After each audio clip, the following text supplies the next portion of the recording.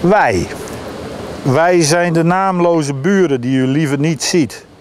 Wij zijn de angst voor de verandering, de moskee en de vrouwen met hoofddoekjes op de markt die u niet verstaat. Lammert Voos is sinds afgelopen weekend de nieuwe stadsdichter van Deventer.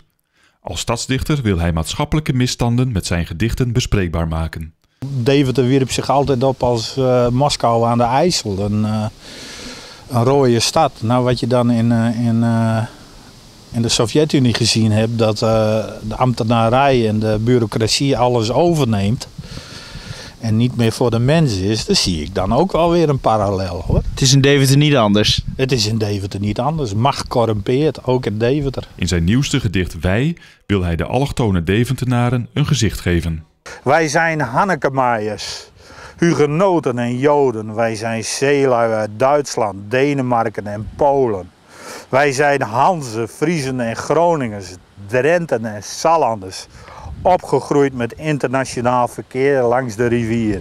Dat zijn ook Deventenaren. En ik wil graag van ze horen, wat betekent het voor jou om een Deventenaar te zijn? En hoe zie jij je positie in Deventer? Ik, wil heel graag die mensen zien.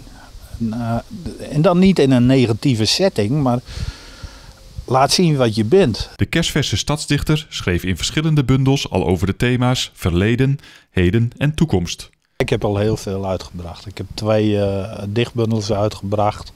Ik sta in heel veel uh, uh, verzamelbundels. ik heb dit voorjaar, een, toen het nog mooi weer was, heb ik een proza-bundel uitgebracht. En ja, dat loopt allemaal wel. Maar als stadsdichter zult u zich vooral richten op maatschappelijke aangelegenheden? Ja, ik denk het wel, ja. We hebben de VVV al, daar heb je geen uh, stadsdichter meer voor nodig.